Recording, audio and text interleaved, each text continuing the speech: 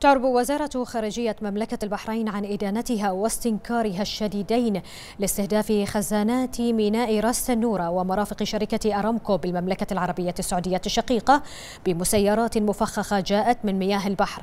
في اعتداء إرهابي جبان يمثل انتهاكا سافرا للقوانين الدولية وتهديدا خطيرا لإمدادات الطاقة وحركة الملاحة والاقتصاد العالمي. مؤكدة تضامن مملكة البحرين ودعمها التام للمملكة العربية السعودية الشقيقة.